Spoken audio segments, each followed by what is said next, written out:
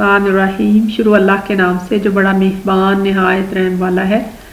تو آج ہم دیکھیں گے تاریخ تاریخ کے شمار کے لیے ہم کیلنڈر کا استعمال کرتے ہیں۔ تو آج کے سبق میں ہم دیکھیں گے کہ ہم کس طرح سے کیلنڈر کیسے بنتا ہے، تاریخ کا شمار کیسے کرتے ہیں۔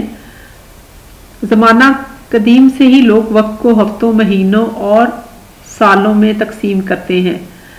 دن، ہفتہ، مہینے اور سال وقت کی اکائیاں ہیں، جیسے ایک سیکنڈ میں، ایک سیکنڈ جو ہے وہ بنیادی اکائی ہے، ایک منٹ میں ساٹھ سیکنڈ ہوتے ہیں، ایک گھنٹے میں ساٹھ منٹ، ایک دن میں چوبیس گھنٹے ہوتے ہیں۔ تو سال کی گنتی دو طرح سے ہوتی ہے۔ ایک سال کو قمری سال کہتے ہیں اور شمسی سال کہتے ہیں۔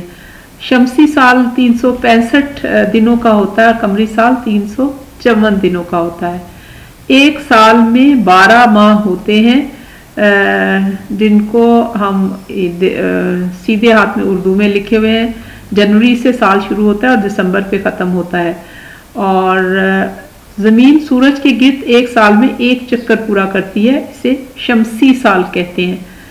اور شمسی سال کی گنتی حضرت عیسیٰ کی پیدائش سے شروع ہوتی ہے۔ تو اب ہم دیکھتے ہیں کہ قرآن مجید میں، سورہ عال عمران میں اللہ تعالیٰ کہتا ہے کہ اللہ تعالیٰ نے مریم کے گھر حضرت عیسیٰ کو پیدا کیا اور وہ کافر ہیں جو کہتے ہیں کہ اللہ جو ہے ان کا بیٹا مسیح ہے۔ اور یہ بھی قرآن بتاتا ہے کہ حضرت عیسیٰ کو اللہ نے زندہ اوپر اٹھا لیا تھا۔ تو عیسوی مہینے میں تیس یا اکتیس دن ہوتے ہیں یعنی ایک مہینے میں یا تیس دن ہوتے ہیں یا اکتیس دن ہوتے ہیں۔ سوائے فروری کے، جس کے تین سال اٹھائیس اور چوتھے سال انتیس دن ہوتے ہیں۔ لیپ کے سال میں فروری کا مہینہ انتیس دن کا ہوتا ہے۔ اب لیپ کا سال کیا ہے؟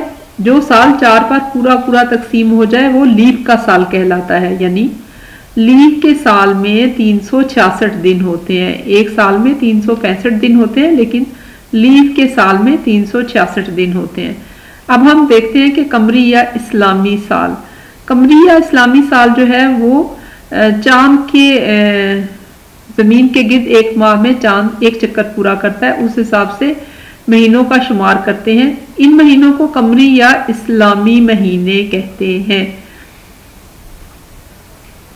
پہلے دن کے چاند کو ہلال کہتے ہیں۔ آہستہ آہستہ چاند بڑا ہوتا ہے، پورا گول ہو جاتا ہے۔ یہ چودہ تاریخ کو ہوتا ہے، اسے چودویں کا چاند کہتے ہیں۔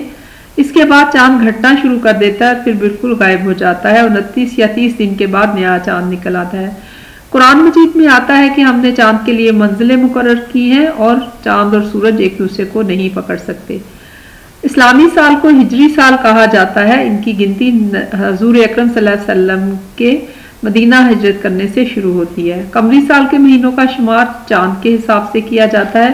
محرم سے سال شروع ہوتا ہے اور آخری ذوالحجہ ہے۔ اس لیے ان میں بعض انتیس اور بعض تیس دن کے مہینے ہوتے ہیں۔ عیسوی اور اسلامی مہینوں کا حساب رکھنے کے لیے کیلنڈر بنائے جاتے ہیں، جن پر ترتیب سے دن، ہفتے اور مہینے لکھے جاتے ہیں۔ جیسے دو سو، دو ہزار اٹھارہ سال کا نام ہے، پھر مہینہ کا نام ہے مارچ، دن کا نام جو ہے وہ پھر ہفتے کے سات دن ہے اور پھر کس مہینے میں اکتیس، اس کس میں تیس دن ہے۔ اگر ایک ہی کیلنڈر پر عیسوی اور کمری تاریخیں ہوں تو کٹھی لکھی جاتی ہیں، جیسے پچیس فروری کو دس ربیع الاول تھا اور پندرہ فروری کو سفر کا مہینہ ختم ہو گیا۔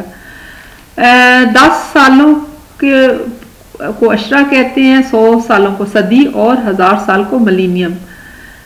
تو وقت کو ہم اشروں میں، صدیوں میں اور ملینیا میں گنتے ہیں۔ تین چیزیں زندگی میں واپس نہیں آ سکتی۔ زبان سے نکلا لفظ، گزری ہوئی صحبت اور گزرا ہوا وقت۔ اس لیے ان کی قدر کرنی چاہیے۔ وقت کو صحیح استعمال کرنا چاہیے۔ ایک فلسفی کا کہنا ہے کہ زندگی میں دو بہت زیادہ طاقتور سپاہی ہیں انسان کے پاس، ایک صبر اور ایک وقت۔